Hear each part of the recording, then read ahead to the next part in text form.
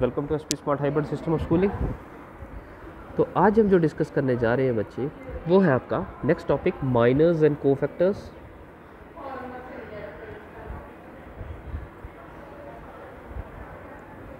minor and cofactor of elements of determinant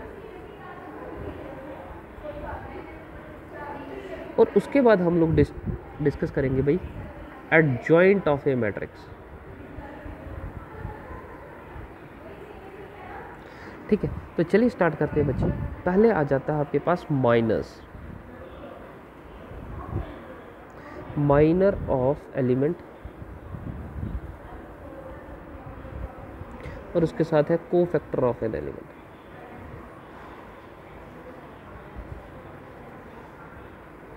ठीक है। तो इसको हम अगर थोड़ा नीचे ले जाएँ तो यहाँ पे मैं कंडीशन बनाना चाहूँगा। हमारे पास है एक three cross three determinant A one one A one two A one three A two one A two two A two three A three one A three two A three three ये एक determinant आ गया आपके पास। आपको minor of an element find out करना है। तो माइनर ऑफ़ एन एलिमेंट कैसे मिलेगा बच्चे आपको? माइनर ऑफ़ द एलिमेंट में आपको क्या करना है? Minor of an element is obtain of an element यहाँ पे मैं कर दूँ। एलिमेंट कौन सा बच्चे? ए आई जी कोई भी अगर एलिमेंट ए आई जी है minor of an element A I J is obtained by deleting the ith row and jth column.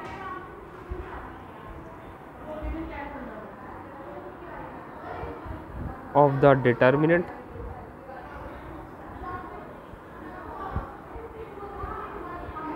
in which the element is present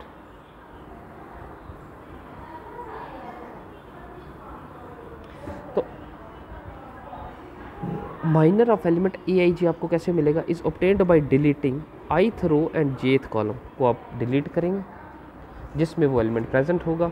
तो जो भी आपको रिज़ल्ट मिलेगा, ठीक है? And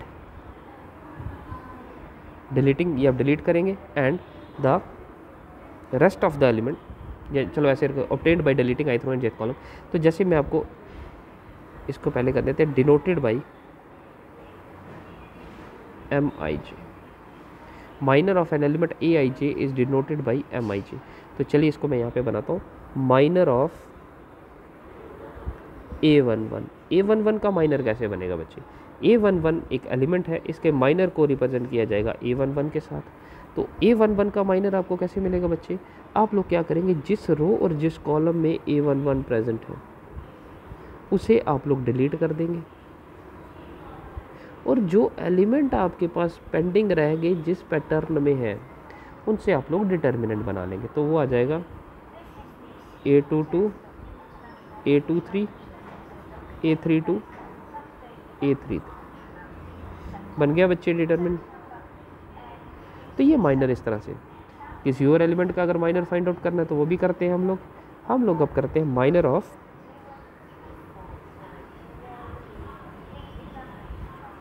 A two two A two two कैसे लिखा जाएगा? एम टू टू के साथ। अब जिस रो और जिस कॉलम में A two two element present है, उसे आप लोग डिलीट कर देंगे। This and this gonna cancel element रह गया बच्चे आपके पास A one one A one three ठीक है, पहले यही लिख लेते हैं। A one one A one three A three one A three three ठीक है। A three one A three ये माइनर बन गया आपके पास बेटा। ठीक है? इस तरह से माइनर आप लोग किसी भी एलिमेंट का बना सकते हैं। मतलब जिस रो जिस कॉलम में एलिमेंट प्रेजेंट है, उन उस रो और उस कॉलम को डिलीट कीजिए तो जो एलिमेंट बच गए, उनसे आप लोग डिटर्मिनेंट बना लीजिए अब है cofactor of an element A I J cofactor of an element cofactor of an element हम एलिमेंट कंसिडर करते हैं a I ji co-factor of an element aij is denoted by capital aij aij अगर कोई element है तो इसको cofactor को donate किए, डिनोट किया जाएगा? कैपिटल ए आई जी से। दिस इम्प्लाइज ए आई जे किसके इक्वल होगा बच्चे? Minus one raise to power जिस पोजीशन में वो प्रेजेंट है। जिस रो एंड जिस कॉलम में उनका आप सम करेंगे which is multiplied by their minor अब उनको आप मल्टीप्लाई कर देंगे उनके माइनर के साथ, बेटा। ठीक है? तो को factor of element A I J को रिप्रेजेंट किया जाएगा इसके साथ। ठीक है? ये आप लोग पहले भी करते आ रहे हैं, जैसे, जिसमें आप एक्सपेंशन करते हैं। फॉर एग्जांपल अगर मैं करूँ cofactor of A one one A one one का को फैक्टर किससे रिप्रेजेंट किया जाएगा बच्चे? कैपिटल ए वन वन के साथ। ये किसके इक्वल होगा? Minus one raise to power one plus one और इसके साथ ही मल्टीप्लाई किया जाएगा बच्चे इसका माइनर माइनर आपको कैसे मिलता है? जैसे आप रो एंड कॉलम को कैंसिल आउट करते हैं। जिस रो जिस कॉलम में वन वन प्रेजेंट होगा, ये आप लोग एक्सपेंशन में भी करते थे। तो ये आ जाएगा बच्चे minus one raise to power one plus one and इसका माइनर आ जाएगा बच्चे आपके पास, जो आपने यहाँ पे सॉल्व भी किया हुआ है। Is your A two two A two three A three two A three ठीक है, इसको सिंप्लीफाई करोगे तो ये माइनस वन स्क्वेयर हो जाएगा। चलो ये मैं यहीं पे स्क्वेयर कर देता हूँ इसको। तो दिस इज़ योर पॉजिटिव क्योंकि minus one rest power A था। इनका क्रॉस मल्टीप्लाई हो जाएगा। A two two A three three minus A three two A two three तो ये आपका minor of cofactor A one one आ गया। एलिमेंट ए one one अब आप लोग को फैक्टर ऑफ़ कोई और एलिमेंट भी ले सकते हैं। चलिए cofactor of A two three करते हैं।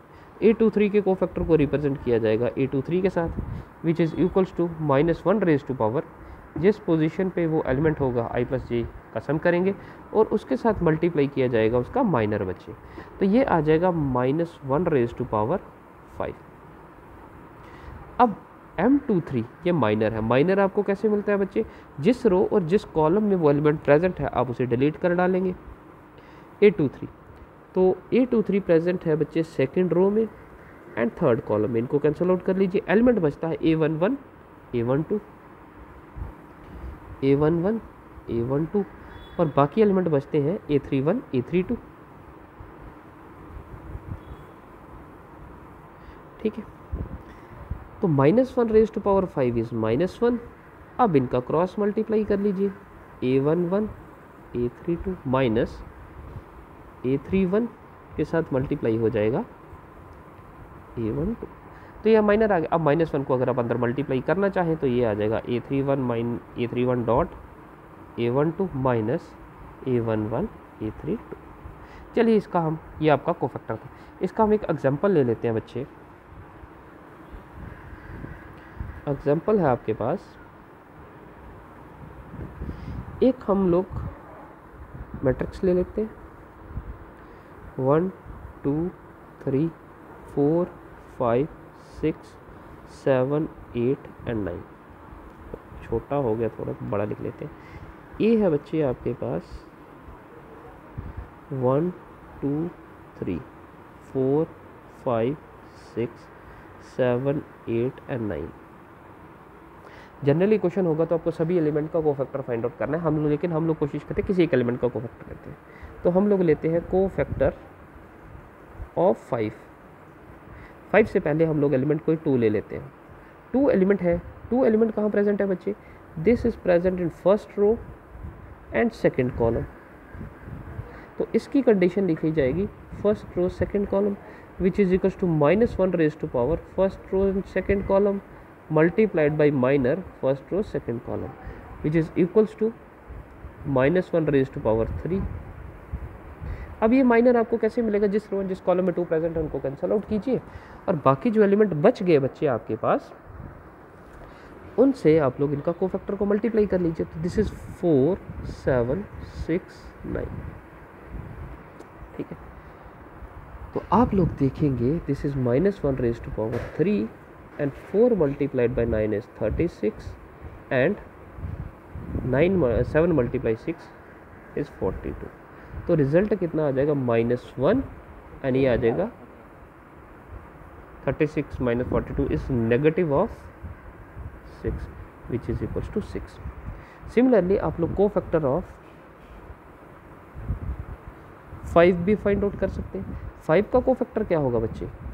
फाइव का को फैक्टर होगा, पहले हम देखेंगे ये प्रेजेंट कहाँ पे है? ये सेकंड रो में है बच्चे और सेकंड कॉलम में।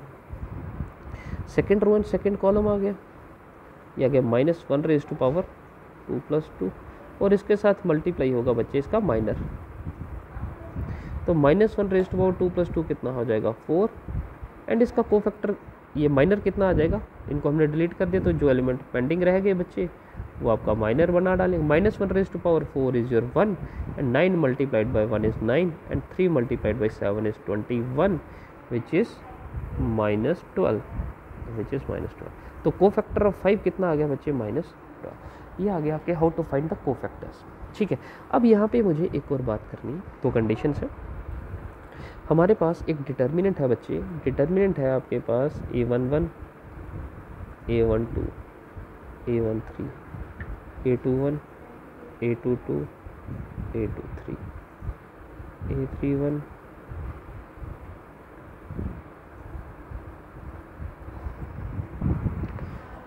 ठीक है बेटा तो आप लोग ये देख रहे हैं कि कोई एक डिटर्मिनेंट है बच्चे ये हमारे पास which is three cross three एक मैट्रिक्स है जिसका हम लोग डिटर्मिनेंट फाइंड आउट कर रहे हैं। तो हमने एक्सपेंड किया है आर वन के साथ। आर वन के साथ जब हमने एक्सपेंड किया तो A one one is your first element here is your element A one one इसके साथ हमने मल्टीप्लाई किया जो हम जनरल एक्सपेंशन में करते हैं। तो इसको आप लोग ध्यान से देखेंगे अगर। इसको अगर आप ध्यान से देखेंगे तो ए वन वन के साथ इसका ये को फैक्टर मल्टीप्लाई हो रहा है। को फैक्टर किसके इक्वल है बच्चे? ए वन वन ए आई जे का को फैक्टर किसके इक्वल है बच्चे? Minus one raise to power one plus one. Sorry I plus J नहीं जा रहा। एलिमेंट ए आई जे इसको किससे रिप्रेजेंट किया जाता है? आई प्लस जे के साथ which is then multiplied by the minor M I J ठीक है? अब ये आ गया, ये सेम कंडीशन और ये माइनर ही है। माइनर आपको कैसे मिलता है? जिस रोज जिस कॉलम में एलिमेंट प्रेजेंट है, आप उसको डिलीट कर दीजिए। तो जो एलिमेंट आपके पास बचेंगे, वो माइनर ही है। ठीक है? फिर आप लोग यहाँ देख लीजिए। सेकेंड एलिमेंट आ गया।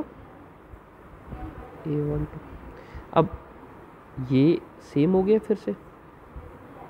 ये तो कोफैक्टर का ही कंडीशन आ गया। ये वन वन के साथ जो भी मल्टीप्लाई होगा, ये आई प्लस जी आ गया। फिर ए वन टू कहाँ प्रेजेंट है? First row and second column में। हमने डिलीट किया तो एलिमेंट कौन सा बच गया? A two one A three one और A two three A three three तो अब आपके पास ये जो है ए टू टू के साथ क्या मल्टीप्लाई हो रहा है? ये माइनर बन गया इसका। तो माइनर क्या आ गया? ये माइनर आ गया ए वन टू एलिमेंट का। ठीक है? फिर उसके बाद आ गया बच्चे एलिमेंट ए वन थ्री तो सिमिलरली जो एलिमेंट ए वन थ्री है बच्चे ए वन थ्री के साथ क्या मल्टीप्लाई हो रहा है उसका? कोफैक्टर ठीक है बेटा तो ये आपको याद रखना है, जब भी आप लोग डिटर्मिनेंट फाइंड आउट करेंगे तो एक्सपेंशन जो होता है is done by any row और कॉलम। तो फ़र्स्ट एलिमेंट होंगे जो बच्चे, वो आपके पास किसी रो या किसी कॉलम से होंगे और उनके साथ जो कंडीशन मल्टीप्लाई हो रही होगी, वो उन्हीं का रो, उन, उन्हीं का, उन्हीं एलिमेंट्स का को फैक्टर होगा। तो डिटर्मिनेंट आप लोग कैसे फाइंड आउट कर सकते हैं? किसी भी रो या किसी भी कॉलम के एलिमेंट्स लीजिए और उनके साथ उनके को फैक्टर्स का मल्टीप्लाई कीजिए और उनका एडिशन कीजिए। तो आपके पास डिटर्मिनेंट ऑफ़ द मैट्रिक्स मिल जाएगा। लेकिन इसके साथ एक और कंडीशन है। एक और कंडीशन क्या है? इसको फिर से आगे लेके चलते हैं। ये फ़र्स्ट कंडीशन आ गई आपके पास। फ़र्स्ट कंडीशन क्या है? कि अगर एलिमेंट्स अपने ही कोफैक्टर्स के साथ मल्टीप्लाई हो रहे हैं एंड देन ऐड हो रहे हैं तो रिज़ल्ट आपको डिटर्मिनेंट मिलेगा। सेकंड कंडीशन क्या है बच्चे? सेकंड कंडीशन है बेटा कि अगर एफ़ क्या है बच्चे? ये सेकंड कंडीशन है आपके पास। If elements of any row और कॉलम किसी भी रो या किसी भी कॉलम की अगर कोई एलिमेंट है, जैसे हम लोग फ़र्स्ट कॉलम ले लेते हैं। फ़र्स्ट कॉलम क्या है? A one one A two one A three if column if elements of any row और कॉलम किसी भी रो या कॉलम के एलिमेंट जो हैं are multiplied by the cofactors of the corresponding row और कॉलम अब किसी भी रो या कॉलम के एलिमेंट जो हैं, अगर हम उनको मल्टीप्लाई कर रहे हैं by the cofactors of their corresponding row और कॉलम्स अब इनको मल्टीप्लाई कर रहे हैं को फैक्टर्स के साथ। को फैक्टर किसके? को फैक्टर्स ऑफ़ कॉरस्पॉन्डिंग रो और कॉलम तो इसके कॉरस्पॉन्डिंग हम लोग कॉलम थ्री कंसिडर कर लेते हैं। तो इसके एलिमेंट आ गया ए वन थ्री तो ए वन वन के corresponding element A one three है तो ए वन थ्री का को फैक्टर हम ए वन वन के साथ मल्टीप्लाई कर रहे हैं। ए टू वन के साथ हम को फैक्टर मल्टीप्लाई कर लेते हैं A two three and A three one के साथ हम को फैक्टर मल्टीप्लाई कर लेते हैं ए थ्री थ्री हम को फैक्टर कॉरस्पॉन्डिंग रोज़ के मल्टीप्लाई कर रहे हैं, और फिर अगर हम इन्हें ऐड कर रहे हैं बच्चे, ठीक है, फिर हम क्या कर रहे हैं इनको? ऐड कर रहे हैं, ठीक है। उस केस में जो रिज़ल्ट आएगा, वो बच्चे ज़ीरो आएगा, इसका ध्यान रखिए ठीक है? अगर एलिमेंट का के साथ उसी का को फैक्टर मल्टीप्लाई हो रहा है और ऐड हो रहा है तो आपको जो वैल्यू मिलेगा, वो मिलेगा वैल्यू ऑफ़ डिटर्मिनेंट क्या मिलेगा? वैल्यू ऑफ़ डिटर्मिनेंट लेकिन अगर किसी भी रो या किसी कॉलम के एलिमेंट के साथ कॉरस्पॉन्डिंग रो के जो या कॉलम के एलिमेंट्स का को फैक्टर मल्टीप्लाई हो रहा है, जैसे ए वन वन एलिमेंट के साथ को फैक्टर जो मल्टीप्लाई हो रहा है, वो कॉलम थ्री के फ़र्स्ट एलिमेंट का है। अब फ़र्स्ट कॉलम के सेकंड एलिमेंट के साथ जो को फैक्टर मल्टीप्लाई हो रहा है बच्चे, वो है कॉलम थर्ड के सेकंड एलिमेंट का। और थर्ड एलिमेंट के साथ, फ़र्स्ट कॉलम के थर्ड एलिमेंट के साथ जो को फैक्टर मल्टीप्लाई हो रहा है, वो थर्ड कॉलम के थर्ड एलिमेंट का है। तो अगर ये मल्टीप्लाई कर रहे हैं आप लोग और फिर इनका सम कर रहे हैं तो अब आपको वैल्यू ऑफ़ डिटर्मिनेंट नहीं मिलता है। अब जो रिज़ल्ट मिलता है, वो फाइनल रिज़ल्ट है बेटा ज़ीरो ठीक है बेटा? तो ये था आपके पास कोफैक्टर्स एंड माइनस नेक्स्ट हम वीडियो में करेंगे आपके एडजॉइंट तो इसको देखिए, अगर कोई डाउट है तो फिर भी पूछ सकते हैं। आज के लिए इतना रखते हैं बच्चे। Thank you for the class